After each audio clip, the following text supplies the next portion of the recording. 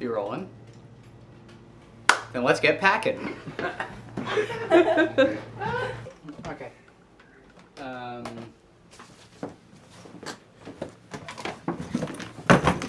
okay. Alright, how many J's? One, two, three. These are Josh's socks. Um, I found this one in the Netherlands. And I found this one in Germany. So I feel like I earned this pair. the first one I was keeping because I was gonna I was gonna give it to him.